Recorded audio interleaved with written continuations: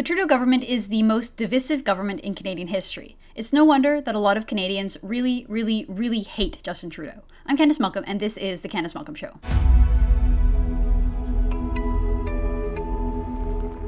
Hi, everyone. Thank you so much for tuning in. Happy Monday. We have made it into week three of the federal election campaign. And I want to point something out a little bit of a disturbing trend that's starting to happen that's coming out over the weekend. I believe that the media narrative, the legacy media narrative, is starting to shift a little bit into Justin Trudeau's favor. Now, we all know that Justin Trudeau has run a horrible first two weeks of the campaign. His whole master plan of running a post pandemic election where everybody's just so happy to be going back to normal, where he can run on this wedge issue of mandatory vaccinations, where he can send out $500 checks to seniors to bribe them while the CERB money is still being poured out. Trudeau believed that he could easily glide to a majority government, particularly given that the conservative leader, Erin O'Toole, is still relatively unknown among Canadians. Well, that went all wrong for Trudeau, and we have been playing that out and, and recounting it on the show, on the Candice Malcolm show, over the past few weeks. But over the weekend, we saw a little bit of a turn, a little bit of a shift, and it is indeed in Justin Trudeau's favor. Now, I'm talking about these protests and these hecklers who have been appearing at several of Trudeau's events throughout the campaign. Trudeau has been heckled, he has been booed, and he has been sort of chased by uh, a few select protesters pretty much everywhere he's gone on this campaign. But over the weekend, things really, really took a turn. So on Friday night, there was a large crowd. Hundreds of people showed up at Trudeau's event in Bolton, Ontario, and just really, apparently, according to reports, made it completely impossible for Trudeau to hold his event. So the Ontario Police, the OPP, determined that it was unsafe for Trudeau to hold that event, and so it was canceled. We saw protests, uh, some reports of protests getting violent. We saw other eyewitness reports of racist and misogynistic statements and comments being made by the protesters. Now, I didn't see any audio or video that would corroborate these reports. However, that is what media are reporting. And if that is the case, of course, it should be condemned in its entirety. Racist comments, sexist comments, especially directed towards police and security personnel for the prime minister, for the liberal leader, there's no place for that. That's that's really ugly. That's really vile stuff. And if that's happening, it should stop. However, when it comes to the rights of Canadians, the right of Canadians to peacefully protest, to show their dismay, to show their anger towards a sitting prime minister, towards a government, this is all legitimate stuff. This is all perfectly fine fine. Of course, the media, what they do is they take the sort of worst of the worst in the crowd. They show the signs with profanity, they show the angry white men yelling, and what they've done is they've turned this into Justin Trudeau's favor to make him look like that he's this high minded leader who is going to just continue with his message regardless of a few far right fringe cranks, which is exactly how the media is painting these protesters out to be. Now, before we get too much into the details of what is happening to Justin Trudeau and how the media is covering it in just a really silly way, I want to just make the point, the obvious point, that this happens to every politician. When it comes to death threats, when it comes to ugly language, when it comes to the kind of anger that citizens express towards their political leaders, it does happen in every stripe. It's interesting how the legacy media only really pick up on it when it is happening to a left wing politician, or particularly when it's happening to a woman. And we, we know that because there's been so many reports about Catherine McKenna getting uh, bullied and heckled online, very few about Michelle Rempel, who gets the same kind of bullying and heckling online, but because she's a conservative, they don't really cover it. Another example would be out in Alberta. When NDP leader Rachel Notley was a premier, we would constantly see news stories about how she was getting hateful messages, about how there were death threats, about how right wing Albertans were really, really angry. Now that the conservative premier Jason Kenney is there, he gets equally, if not more,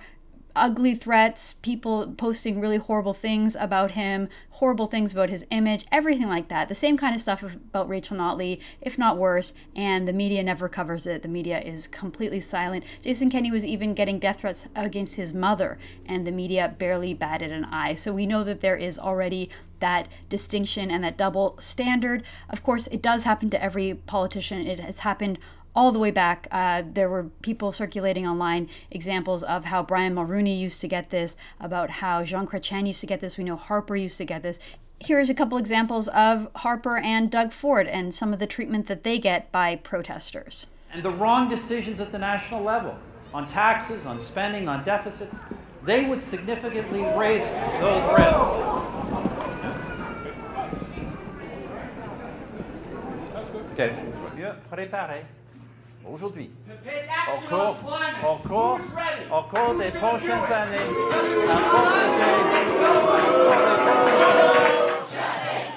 At a May Day protest outside Queen's Park, photos emerged of a guillotine dripping with fake blood as demonstrators carried out a mock execution. Of course, this isn't right, and we should condemn any violent threats towards politicians. There really shouldn't be room for that kind of language in politics. But the point is, it does happen to everyone. There is a fringe percentage of the population that is going to express their dismay towards government uh, through anger and sometimes crossing the line into violent speech and calls for violence, which is which is again where where we draw the line as a society in a democratic society, you can protest, you can say a lot of things, we have freedom of speech, but when it crosses into violence and death threats, that's when it's too far.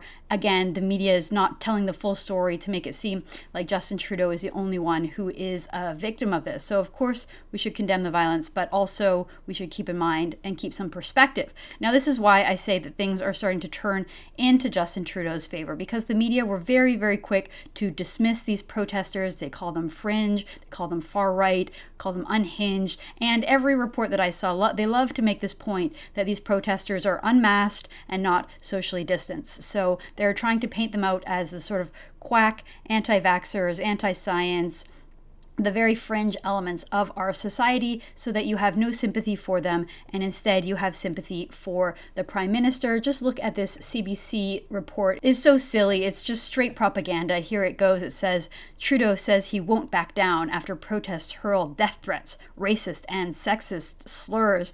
This is Trudeau at his best. This is his favorite type of campaigning, and this is the media's favorite iteration of himself. Trudeau is going to continue to promote his message of progress and science, and these ugly, horrible protesters are hurling death threats, racist, and sexist slurs. And so, this whole media story is again just trying to make Justin Trudeau out to be the hero. Some of the quotes in here are just so hilarious. So, this is a quote from Trudeau from the story. He goes, No, I'm not going to back down on a message that Canadians know is the right path forward. And that's why Canadians need to choose to move forward at this pivotal time. So, again, Justin Trudeau gets to play the hero, and the media is all too happy to play into this narrative that the people who are protesting him are fringe and are far right. I want to point to my colleague at the Toronto Sun's, Brian Lilley's column on this issue because he really, really hit the nail on the head. So, Lilley writes, Trudeau's wild claims show that he will say anything to get elected.